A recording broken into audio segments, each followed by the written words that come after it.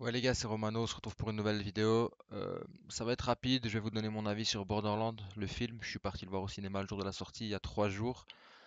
Euh, qu'est-ce que j'en ai pensé? Alors honnêtement, euh, ça suit plus ou moins, ça respecte plus ou moins bien l'univers du jeu. Maintenant, vous attendez pas un film grandiose, honnêtement. Moi j'ai trouvé que les acteurs étaient un peu sous-exploités, que ce soit Kevin Hart par exemple. Moi j'aime bien de le voir dans des rôles ou humoristiques ou Là, c'était un peu fade, j'ai envie de dire ça comme ça. Comme euh, Claptrap, c'est euh, c'est clairement un personnage de l'univers Borderlands avec lequel il y a moyen de faire plein de vannes, il y a moyen de faire plein de choses. Il s'arrête jamais, théoriquement, comme dans le jeu.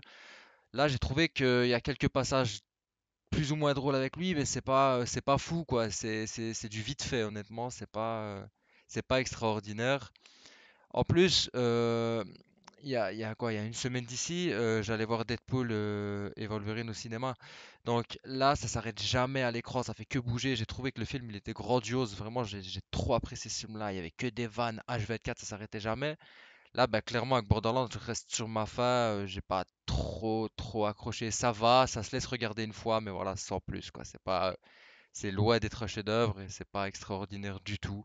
Maintenant, si vous aimez vraiment le jeu, vous pouvez le regarder une fois, ça ira, mais euh, je pense pas que ça fera partie de vos classiques.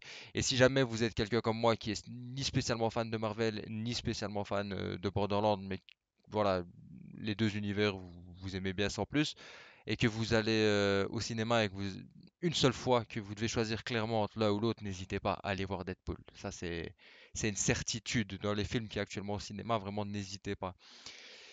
Voilà, c'était c'était très court. Je voulais juste vous donner mon avis comme j'aime le faire. Euh, si vous, vous avez été voir le film aussi, dites-moi ce que vous en avez pensé.